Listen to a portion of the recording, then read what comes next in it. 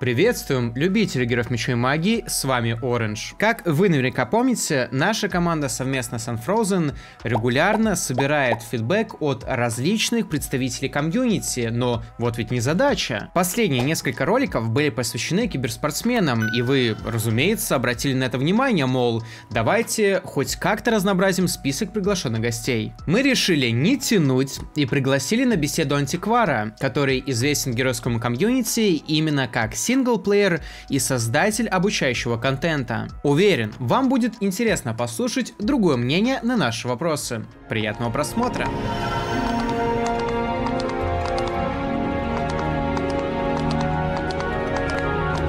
Константин, доброго дня тебе. Очень рад, что наконец-то могу лично с тобой познакомиться, пообщаться, пообсуждать интересные геройские темы. Для меня это также необычное интервью, потому что после того, как я начал выпускать геройские гайды, люди в комментариях писали, о, так это же духовный наследник антиквара. А, я знаю, что ты за свою контент-мейкерскую жизнь на YouTube сыграл во много разных игр, но рискну предположить именно, что по большей части тебя знают как э, геройщика и именно как создателя обучающего контента, поэтому наша команда решила пообщаться с тобой именно в этом направлении, но перед этим давай немного поговорим о тебе. Представься, пожалуйста, для тех зрителей, которые еще с твоим творчеством не знакомы. Добрый день, рад тоже с тобой познакомиться, никогда не доводилось выступать в качестве духовного наставника, но какие-то вещи, вещи в жизни когда-то происходят первый раз. Если о себе, зовут меня Константин. В геройском сообществе я известен под ником Антиквар. Раньше был чистым летсплейщиком, потом стал стримером. Ну и если выделять какую-то одну вещь, которой, можно сказать, я горжусь на этом поприще, то это будут несколько десятков а, обучающих и обзорных роликов по третьим героям. Насколько мне известно, ты играл и в другие части героев, но, скорее всего, именно тройка является твоей любимой. Почему именно она? В чем ее магический секрет по сравнению с другими частями Home, по твоему мнению? Слушай, ну тройка, тут нужно понимать, она не появилась на пустом месте. Были первые герои, которые по сути были все-таки экспериментом для Джона Ван Каннигема. А вторые герои это уже был а, более серьезный продукт, это уже была отличная пошаговая стратегия, которую нужно было несколько доработать привнести большую глубину, насытить, разнообразить а, геймплей, что и было прекрасно реализовано в тройке. А, а вот затем пошли эксперименты. Вышла четвертая часть героев, а, которая пересмотрела очень многие механики, и я уверен, что фанаты Героев Меча и Магии, когда была тройка, они-то от четверки ждали совершенно другого, чем то, что получили. Улучшенную версию своей игры, да, то, что они полюбили в двойке. С четверкой ситуация получилась обратная. А когда вышла пятая часть, пятые герои, то это, скажем так, был в каком-то смысле ренессанс э, вот этой всей геройской истории. А, добавили новые интересные механики, о системе прокачки, об уникальных классовых навыков для героев разных фракций. Но при этом а, игра стала менее динамичной, она стала более сложной, и я считаю, что во многом поэтому проиграла своему предшественнику и основному конкуренту. Ну и если мы говорим о тройке, да, почему именно она, я думаю, что тут важно отметить э, тот вклад, который ребята из Hot Crew внесли э, в то, что они доработали ту самую старую тройку, э, избавили ее от багов, э, сделали более сбалансированной, более красивой. Именно благодаря им на сегодня тройка среди игр геройской серии с запасом является топ-1. Ты знаешь, в этом месте сразу хотел бы тебе задать э, такой вот вопрос. Я читаю, наверное, там практически все вообще комментарии на YouTube или около того, что связано с Olden Era. И что логично, собираются игроки э, всех частей, и каждый начинает там писать о том, вот что именно круто было в его части, и, мол, а добавят ли именно это разработчики э, там, в будущем, да, эту механику, либо этого юнита. Но мы прекрасно понимаем, что если э, напихать в одну игру чересчур там много всего, да, то получится некая каша-малаша.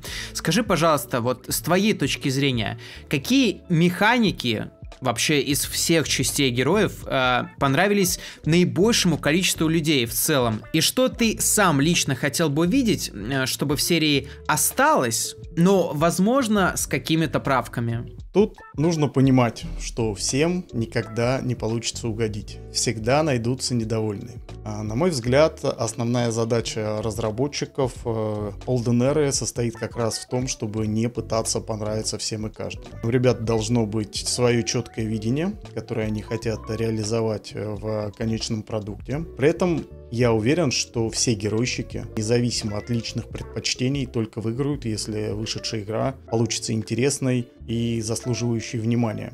Самое это главное, на мой взгляд, герои должны быть узнаваемыми. Должен быть привычный интерфейс, так или иначе, система прокачки героев, система боя, ну и так далее. Да, безусловно, со своими особенностями, с какими-то новыми фишками, дополнениями, нововведениями, иначе ради чего было все это затевать, да. Если удастся реализовать а, все это на новом современном уровне геймдизайна, то все может получиться. Позволь, пожалуйста, вернуться, да, немножечко все-таки еще назад и поговорить насчет механики, вообще каких-то там интересных фишек э, в героях.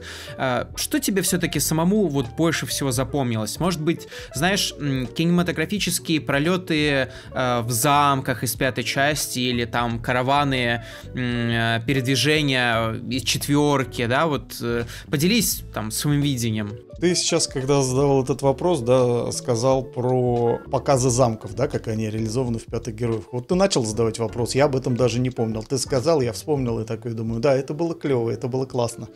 На самом деле герой это настолько разнообразная история, да, что вот я для себя выделить э, э, что-то одно, я даже, знаешь, так вот сходу затруднюсь. Не знаю, пошаговые битвы мне очень нрав, нравятся, как реализованы в героях, да, то есть они достаточно понятные, они достаточно лаконичные. Ну, в героях, на мой взгляд, они на голову сильнее. Пусть будет это. Графические экраны городов, где как выглядят. Вот я тут между тройкой и пятеркой не выберу. Э, и там, и там есть своя изюминка, здесь кому что нравится. Если все же нужно, то давай систему боя да, вот как она сделана в героях. То есть она простая, понятная, быстрая. Ага, все, наконец-то. Я-то тебя тут и поймал. Наконец-то ты мне сказал что-то конкретное.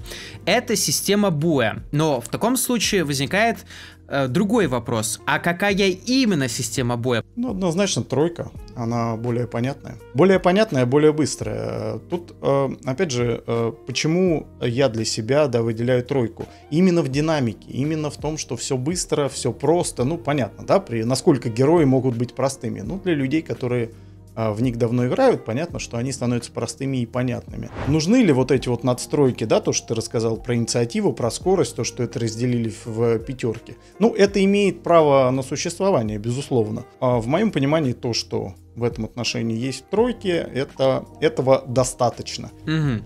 В таком случае я хотел бы мне, чтобы ты э, подтвердил мой point, э, который я вынес для себя из твоего ответа, э, что тебя в целом привлекает э, скорость, повышенная скорость игры, да, и вообще, в принципе, развитие событий. В целом э, тебе нравится идея того, что что геймплей в Olden э, стремится к тому, чтобы быть намного быстрее, чем в предыдущих частях. Мы сейчас говорим и о каком-то функционале внутри игры, и в целом, да, там, каких-то нюансах тех же самых там удобства интерфейса. Например, вспомним ту же самую пятую часть, где в начале битвы, там, пока ты заходишь внутрь битвы, там камера типа отлетает и прочее, прочее. Да, блядь, вот это окончание еще дольше бы шло. Мои любимые анимации. Тебе нравится, что все в игре будет стремиться к там, минимально потраченному игровому времени пользователя? Да, слушай, все абсолютно верно. Ну, во-первых, э, я думаю, что каждый взрослый человек, он понимает, что время это тот ресурс э, суперценный для каждого человека, которым мы очень дорожим. Допустим, если я буду говорить как стример, да, безусловно, для меня, если мы коснули, коснулись бы шаблонов, да, которые есть у нас третьих героях, а в чем, а, возможно, главный плюс а, ауткаста по сравнению с кроссом? Да в динамизме, в то, что ты партию можешь сыграть гораздо быстрее. Это интереснее смотреть, просто для зрителей, да, с точки зрения зрителей воспринимать вот этот динамизм интереснее. Если мы берем просто человека, который э, запустил героев с целью провести время, поиграть, ну, не всегда у человека есть много часов, чтобы сыграть одну карту. То есть, если это происходит быстро, то это, на мой взгляд, безусловно, плюс. А не хотелось бы, правильно ты отметил, что вот эти вот вроде бы мелочи, анимации, анимации начала боя, анимации э, э, существ, да, их атак и так далее, магии. А вроде бы мелочи, вроде бы секунды здесь, секунды здесь, но на круг получается, что а, сам процесс воспринимается затянутым. Понимаю, о чем ты говоришь. Благодарю за ответ. Ты знаешь, сейчас, ну, лично мое мнение, возможно, наши зрители со мной не согласятся, но я вижу некую, знаешь, тенденцию смены игровых шаблонов. Вот когда-то на, на пьедестале Геройского Олимпа красовался Джебус Кросс. А, ну, честно признаться, он и сейчас топ-1. Но вот складывается впечатление, что геройщикам он начинает надоедать, и они готовы играть во что-то другое, зачастую даже более сложное сложная по структуре. Например, 6LM10A. Ты вот играешь в основном Jabba Outcast. Но вопрос, почему ты решил остановиться именно на нем? И почему, в принципе, по твоему мнению, геройщики пересаживаются с Джебус Кросса на что-то другое? Все-таки надоедает или есть какая-то другая причина? Все приедается людям хочется разнообразия. Он позволяет, с одной стороны, показать вот это вот, да, он дает возможность игроку показать свой стратегический, тактический потенциал, да, и он при этом не такой затянутый, как то, что ты упомянул, допустим, 6 LM10, а все равно, вот если эти два шаблона сравнивать, то кросс, опять же, а, в среднем играется быстрее. Но все приедается, людям хочется разнообразия, поэтому появляются э, новые шаблоны, появляются различные вариации на, на тему того же Джебус Кросса, да, с э, коробками на, там, не знаю, условно, высокоуровневых существ. Опять же, если мы говорим про шаблоны, которые играются одним героем, то есть это у нас Джеба Сауткаста и Дуэль, по интересу, который возник как у игроков, так и у зрителей, которые приходят на стримы, стало понятно, что вот такие шаблоны, они тоже востребованы, да, которые играются одним героем. Плюс, безусловно, это динамизм, плюс это простота, а, это а, меньший порог вхождения для того, чтобы играть подобные шаблоны на достаточно неплохом уровне, чтобы играть с сильными игроками в лобби. И вот это вот разнообразие, это хорошо, это то, что идет, я считаю, в плюс э, геройскому сообществу. Как по мне, ошиб, ошибка может оставить в том, что, знаешь, в попытках сказать, что вот должно быть только так или должно быть только по-другому. Да пусть будет и так, и так. А мы с тобой все равно противопоставляем э, шаблоны с одним героем и шаблоны без ограничения количества найма героев. И с этим ты ничего не сделаешь. Есть люди, которым нравятся шаблоны с одним героем, условный ауткаст или дуэль, неважно. Есть люди, которым нравится Jebus Cross, 6LM10A или что-то подобное и как ты их можешь примирить э, в попытке сделать один шаблон. Э, возникает вопрос, зачем? Но стремиться сделать э, более совершенным шаблон для одного героя и для э, нескольких героев, ну почему нет? Тут, как говорится, этому самому совершенству нет пределов, тут можно экспериментировать, можно придумывать. На самом деле ты немножечко меня передил и опять э, частично коснулся следующего вопроса, но главный поинт, который я выделил для себя э, на данный момент, это то, что к такому шаблону стремиться не нужно, мол, пусть играют одни в одно, другие в другое, а вот развивать эти направления очень даже стоит. Э, но если мы говорим про шаблоны в целом, да, вот если зайти там э, в третьи герои, их там всевозможное множество, опять же, есть, насколько я знаю, очень много интересных шаблонов из пятой части. Вот зайдет новичок, да, и что он увидит? Там 20 каких-то непонятных названий. А что, а как, а где, не знаю, сидеть в этом во всем разбираться, как будто очень нудно. Пойду я лучше поиграю во что-нибудь вообще там другое, чем сидеть там и вообще выяснять, а как тут в принципе играть и что все эти шаблоны обозначают. А как бы ты, например, отнесся к идее э, взять, да, вышеупомянутые JBoss Cross и Outcast и добавить к ним еще парочку каких-то шаблонов, например, M200, Э, так называемый шаблон, и что-то очень большое, очень сложное, там, с подземельем, например, 6LM 10A или там H3DM1 зеркальный там шаблон, да, э, который играется, очевидно, там, дольше даже, чем Jabus Cross. То есть, например, этот шаблон играется столько-то по времени, это чуть больше, этот чуть больше, и это там совсем очень долгий, мол. А, то есть сделать именно критерий разделения шаблонов по времени. А, что скажешь на этот счет? Слушай, ну как вариант, то, что ты описал, если мы зайдем в сетевую игру в третьих героях и откроем вкладку с шаблонами, то мы увидим там, я никогда не считал сколько их, ну там несколько десятков шаблонов. Если мы смотрим самых сильных игроков, они могут играть любой из этих шаблонов, да. Но по большому счету, так ли часто на практике играется, я не знаю, какой-нибудь спайдер. Ряд шаблонов я даже не вспомню названий, потому что я их вообще не видел ни у кого, но они есть. Вот от такого разнообразия, от, э, если хочешь, э, мертвого разнообразия, нужно уйти, безусловно. Если мы говорим с точки зрения нового игрока, человека, который пришел в игру, открыл эту вкладочку, увидел там несколько десятков названий, почесал голову, закрыл вкладочку, да, и, и думает, пойду-ка я поиграю во что-нибудь другое, то, полагаю, это не нужно. А тот критерий, который ты предложил, время которая в среднем необходима для отыгрыша шаблона, мне кажется, он достаточно удачный. А причем, э, если делать так, можно как раз так и обозначить, да, что для нового игрока, то есть в чем разница вот этих вот вариантов игры, версий игры? Разница в том времени, которое, которое ты затратишь для того, чтобы довести процесс игры до, до логического завершения. С одной стороны, мы берем популярность того, что уже есть. Все равно э, за время существования третьих героев вообще и за время активного э, активной вот этой истории, да, существования онлайн-лобби, огромного количества партий, которые было наиграно сильными геройщиками, накопился большой массив информации. И, в принципе, если собрать эту статистику, проанализировать, что играется, то мы можем, исходя из что смотрится, опять же, да, зрителями, мы можем оставить востребованные шаблоны, да, добавляем критерии времени, которые нужно потратить в среднем на игру на конкретном шаблоне, и мы для нового игрока, для человека, который пришел в игру, ничего о ней не знает, э, даем достаточно четкую систему целеполагания, да, что он получит, запустив тот или иной игровой режим. Почему нет? Достаточно удачное решение, я думаю. Хорошо, Константин, благодарю тебя за ответ. И в этом же месте еще тогда хотел бы задать тебе дополнительный вопрос. А, Коль, ты упомянул э, такую вещь, как время. Не секрет, что в современных реалиях все стараются потреблять контент за наименьшее там, количество проведенного времени. В этот момент появляется такая штука, как win condition в третьих героях, которая по задумке самой игры подразумевает, что ты должен убить всех героев э, оппонента и захватить все его замки. То есть, как правило, либо кто-то пишет ГГ, либо не пишет, и приходится, что называется, душиться. И занятие это бывает, ну, очень длинным и очень изматывающим. И складывается такое впечатление, что текущий win condition, он как будто устарел. Что ты вообще думаешь э, на эту тему? А, до сто процентов.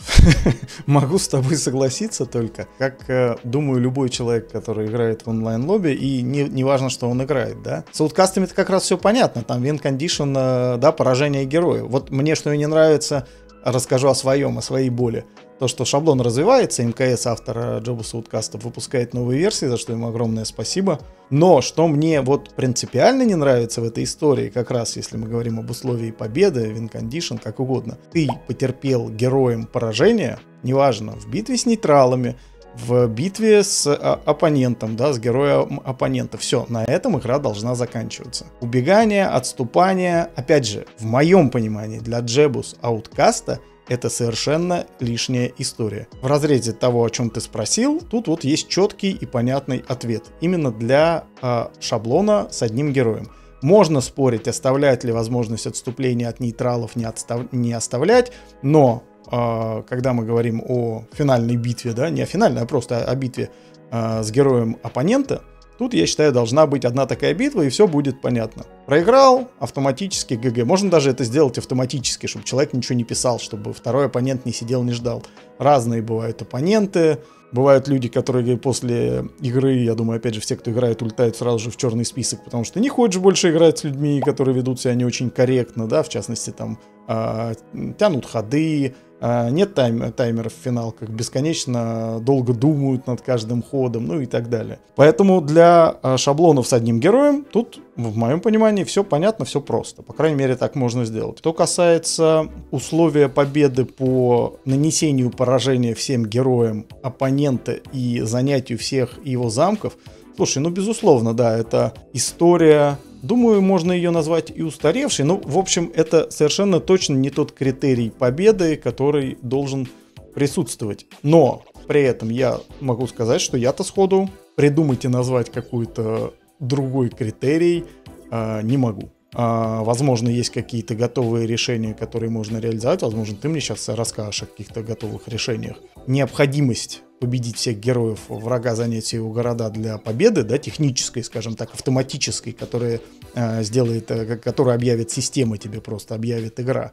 Да, это перебор, это, это неправильная схема, которую э, в идеале поменять, конечно, при выходе новых героев не то, что я готов сходу назвать какие-то критерии, но, по крайней мере, э, я точно знаю, что в Olden готовятся свои вин-кондишны альтернативные, и что самое главное, достижимые по логике самой игры, разные для каждого режима. То есть ситуация, при которой там, да, возьмем тот же самый Джабус Кросс, э, ты запираешь своего там оппонента на респе, и он там будет 10 часов душиться там до последнего героя, выжимая весь таймер до нуля. Э, слава богу, что таких ситуаций не будет. То есть игра заранее, да, будет у вас, у игроков спрашивать, каким именно образом вы хотите завершить игру. И с моей там, точки зрения, это прям то, чего категорически в данный момент не хватает третьим героям.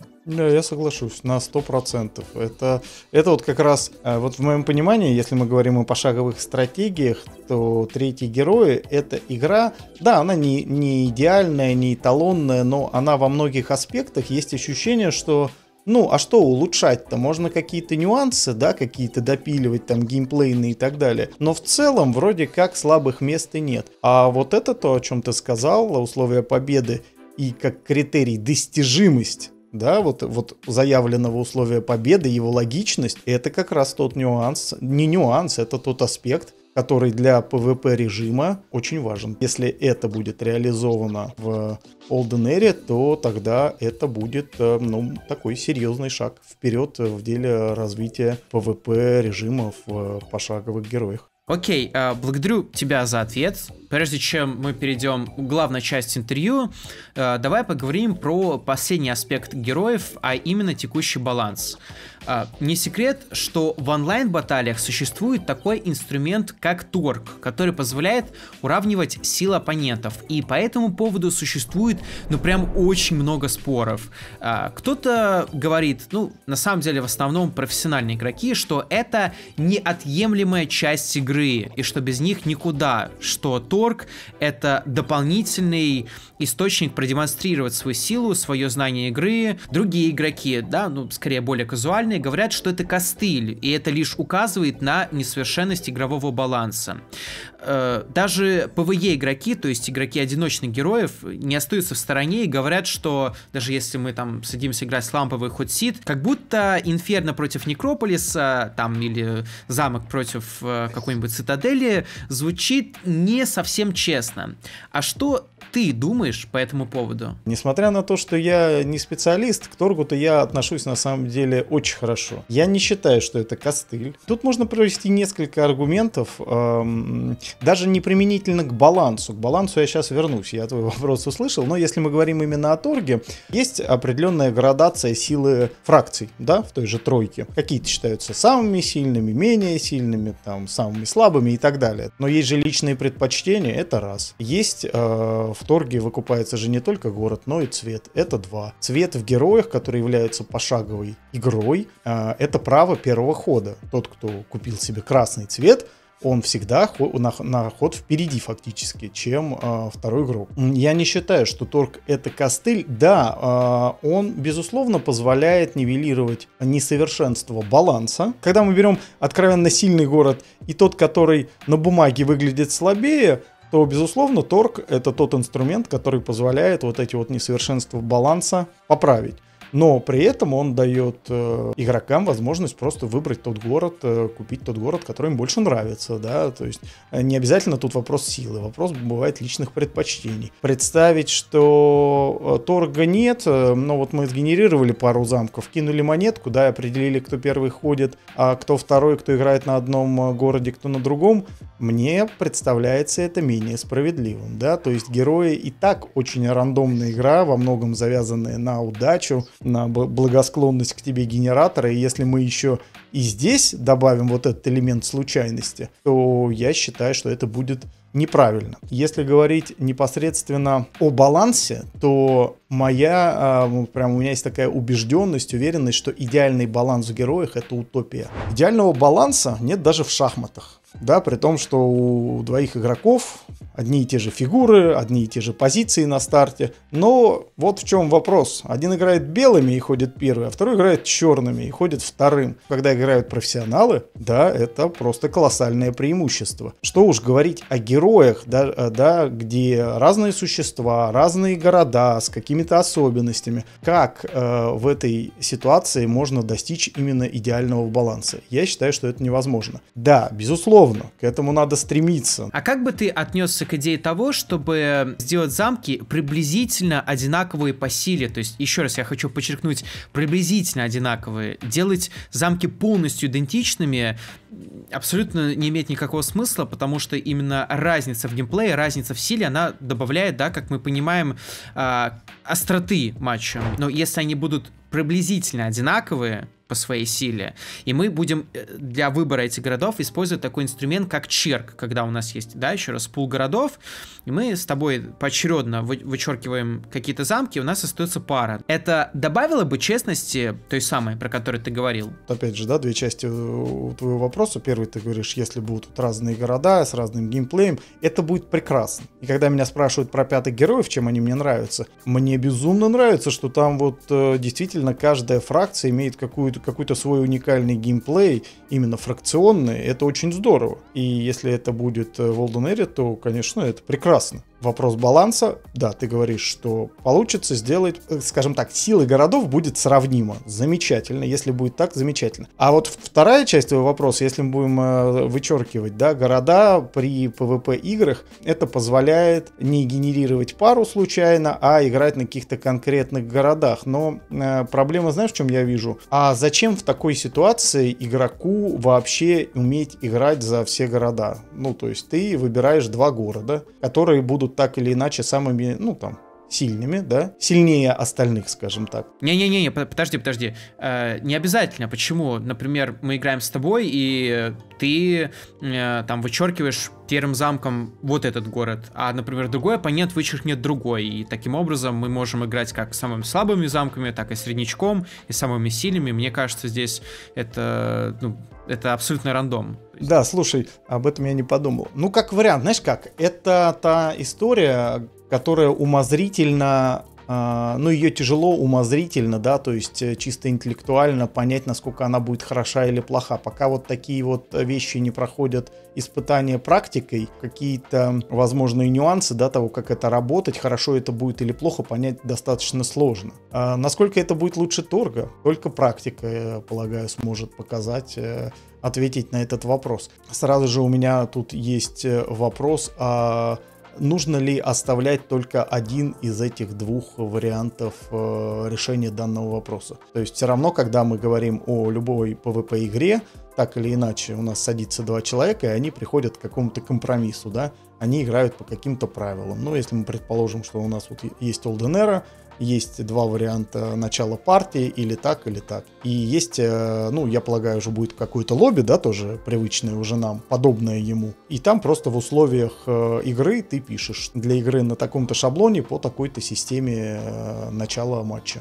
То есть, с твоей точки зрения, был бы идеальный вариант, при котором игра сама, да, внутри лобби спрашивала бы, какой инструмент выбора городов вы хотите использовать, торг либо черк. Абсолютно точно. То есть, да, вот есть такая кнопочка, да, ты ее там а, а, нажал, ну, поставил галочку или не поставил. Ну, или там две кнопочки, одну нажал или вторую. Когда мы говорим о новой игре, да, то есть вот выходит Olden Era, она, это новая игра. И я так понимаю, что разработчики будут смотреть, как она будет заходить, собирать фидбэк, и выпускать баланс патчи. Ну и если реализовать такой вариант, вот с двумя этими режимами, можно было бы собрать статистику и посмотреть, возможно, э, один из этих вариантов начала партии доминировал бы, да, то есть большинство людей бы выбирало или торг, или вычеркивание. То есть это неплохой, скажем так, прием, когда можно получить э, ответы, собственно, у людей, э, для которых все и делается, то есть у игроков. Угу. Благодарю тебя за столь развернутый и очень интересный ответ. И в этом месте э, я наконец-то хотел бы перейти э, до основных вопросов, э, связанных с твоим творчеством. Как я сказал в самом начале интервью, ты у героичков в первую очередь ассоциируешься именно с обучающим контентом. Но почему именно это? Ведь если посмотреть на любые игры, в том числе и героев, то больше востребован контент развлекательный или соревновательный, но никак не обучающий. Слушай, ну дело в том, что мне это просто близко. А, если бы моя жизнь сложилась э, немного иначе, я вполне бы мог стать преподавателем, были для этого предпосылки. Но сложилось как сложилось. А вообще, да, если так философски ответить на твой вопрос, я считаю, что человек должен стремиться к тому, а, чтобы делать именно то, что ему интересно, а не только ориентироваться на востребованность, э, стараться там делать то, что модно, престижно.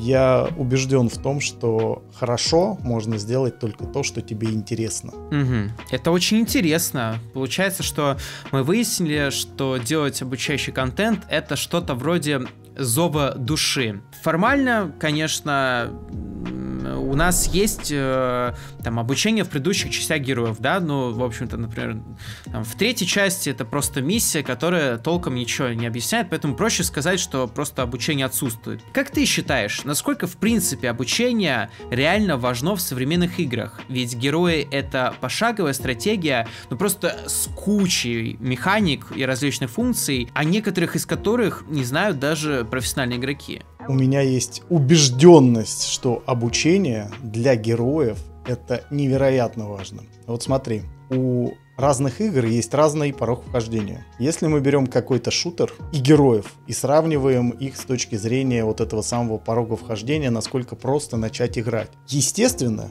посади там практически любого человека играть в шутер, и плюс-минус он безо всякого обучения будет понимать, что ему нужно делать. Это не потому, что шутер хорош, а герои плохи. Нет, это просто специфика игры. Это просто количество механик, которые есть в игре. В героях, как ты сам сказал, очень справедливо заметил, колоссальное количество механик. Я по себе знаю, я знаю по другим ребятам, сталкиваются с ситуацией, когда играя много лет героев, они внезапно сталкиваются с тем, и достаточно часто это происходит, что они чего-то не знают. Поэтому в героях обучение должно быть совершенно точным. А ясно, что никакое обучение, насколько бы хорошо и качественно оно а, не было сделано, не позволит игроку сходу разбираться в нюансах именно игры, в деталях. Но этого и не нужно. Но при этом, после прохождения обучения, игрок должен понимать основные механики, которые ему позволят запустить игру на самом легком, пусть уровне сложности, и сделают игру для него и понятной, и интересной. Таким образом, в моем понимании, качественное обучение — это во многом залог того, насколько легко новая аудитория а, будет вовлекаться в игровой процесс и в конечном счете формировать а, новое игровое сообщество. И еще есть один нюанс, очень важный. Хотим мы того или нет, но с развитием информационных технологий, с моментальным получением искомой информации в интернете, люди стали более ленивыми. Изучая новый продукт, любую игру, да, в данном случае, мы не хотим долго разбираться, мы не хотим читать какие-то полотна текста. А мы хотим видеть короткое, по возможности, информативное и интуитивно понятное обучение. Я уверен, что в современных реалиях именно такое обучение сможет э, обеспечить и привлечение, и удержание, ну, больше, конечно, удержание новой аудитории. Как ты наверняка знаешь, а возможно сейчас для тебя это будет новость, что в новых героях хотят предусмотреть разделение обучения на PvE и PvP контент.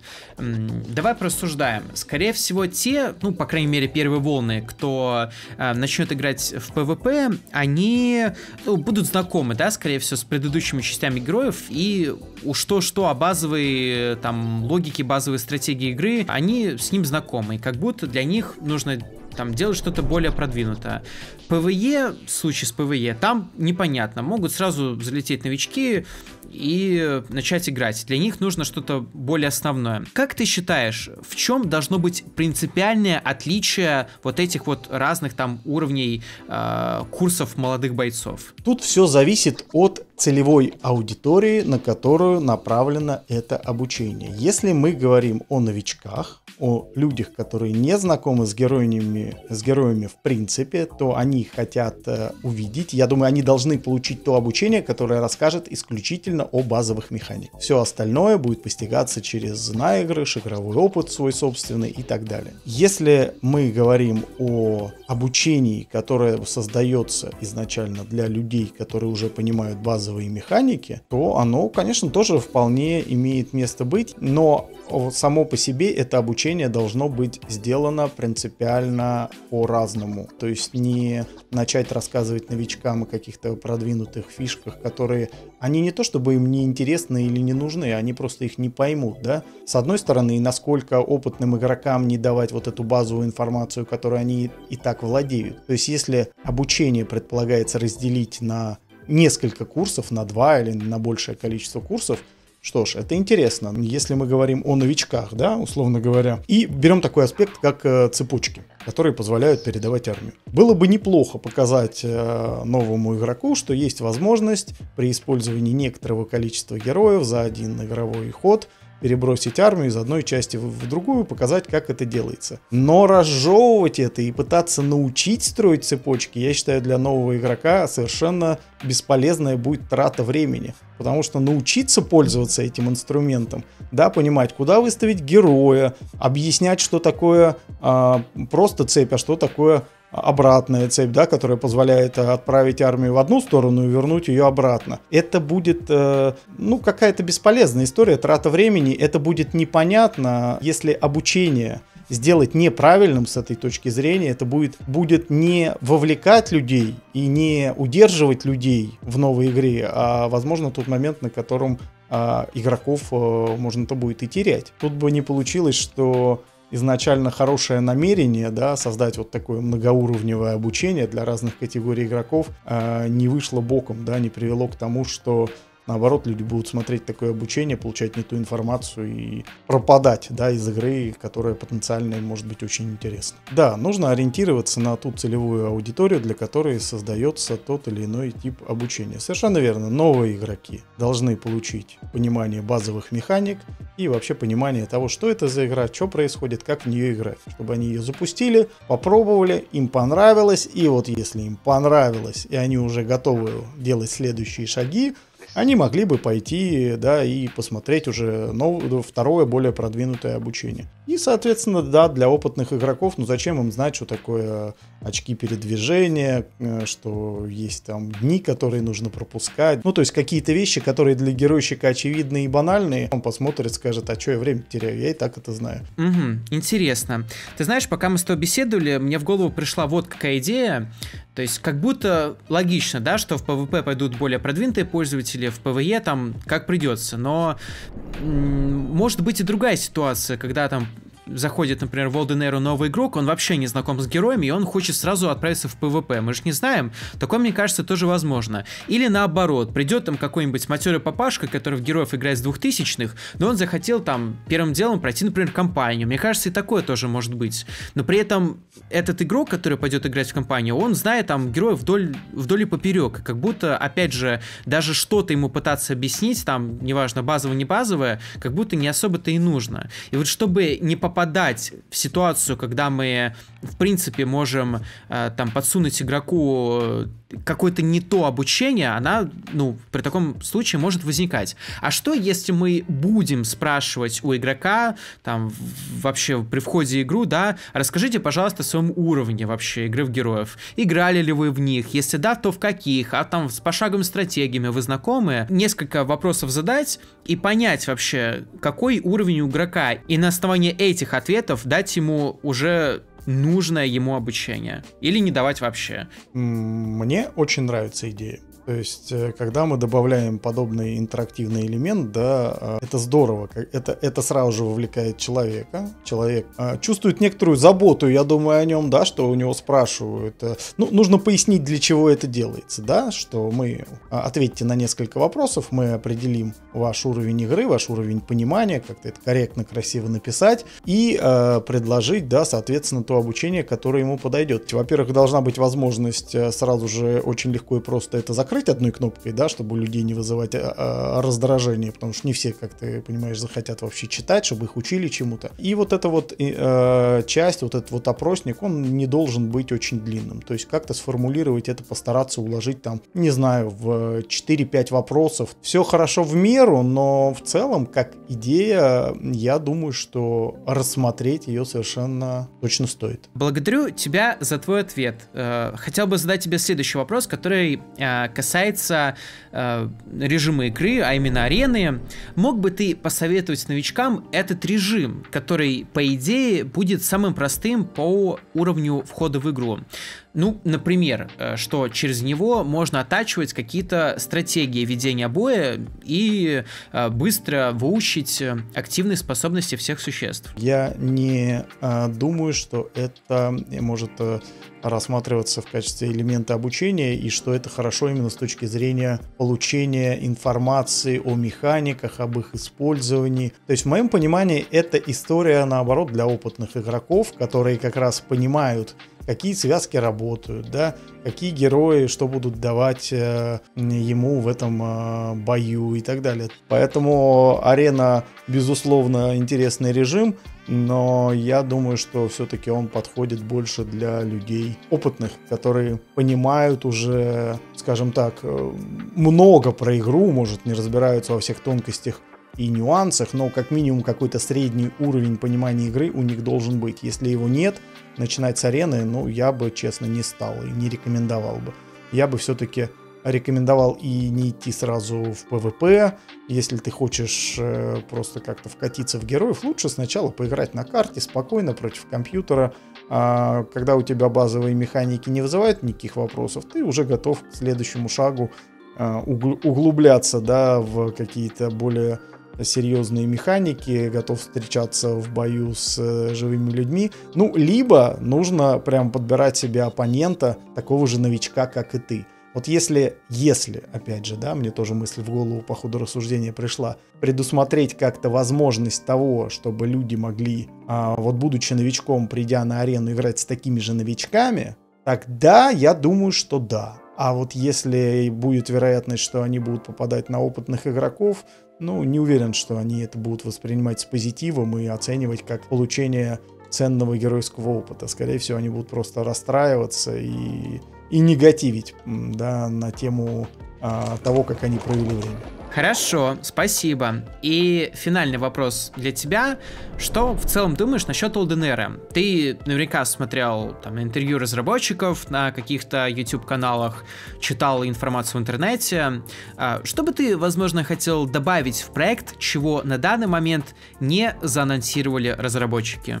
Прежде всего, мне хочется верить, что игра получится интересной и стоящей. Как уже говорил, от этого все геройщики выиграют, ну или подавляющее большинство совершенно точно. При этом э, мои личные ожидания можно описать словами «сдержанный оптимизм». Uh, у меня такой подход, что завышенные ожидания часто оборачиваются серьезными разочарованиями, но ну, а каких-то разочарований в жизни и так хватает, поэтому поживем увидим, да, что получится, но я рекомендую всем относиться к данному проекту позитивно и со сдержанным оптимизмом. По поводу советов, а, что добавлять в Алденеру, а что нет, я все же воздержусь. Я уже говорил, что я не хотел давать как раз никакие советы. И вот почему. Потому что есть очень много концептов и точек зрений практически на любой игровой аспект, да, который есть в героях на вторичные навыки, как они должны выглядеть, на баланс этих самых стихий, на баланс магии, на а, заклинание контроля карты, как это должно выглядеть и работать, быть привязанным к стихиям, не быть привязанным, если да, то к каким, ну и так далее, и тому подобное. Перечислять это можно очень и очень долго. Любой разработчик игры должен исходить из того, что ты всем не угодишь, ты не сделаешь так, чтобы всем понравились все твои решения. Поэтому я лучше просто пожелаю ребятам, которые занимаются разработкой LDNR, удачи и доведите свой труд по созданию этой игры до логического завершения. Ну и я надеюсь, что нам результат очень понравится. Константин, благодарю тебя за твои ответы, благодарю тебя за уделенное время. Послушать твои ответы, особенно на тему геройского обучения, было э, очень интересно и полезно. Э, поэтому спасибо тебе большое от всего геройского сердца. Спасибо большое, я тоже был э, рад знакомству, услышал много интересных мыслей от тебя, да, в процессе разговора. Мне всегда нравится, когда разговор э, с собеседником, он тебя тоже чем-то обогащает, да, и вроде у нас интервью, а вроде э, я с тобой поговорил, и ты мне тоже дал несколько интересных мыслей для размышления, каких-то идей для понимания вообще геройских реалий. Эх, слышал бы сейчас моя мама, что я умею говорить умные мысли, она бы, наверное, удивилась. Покажи это место.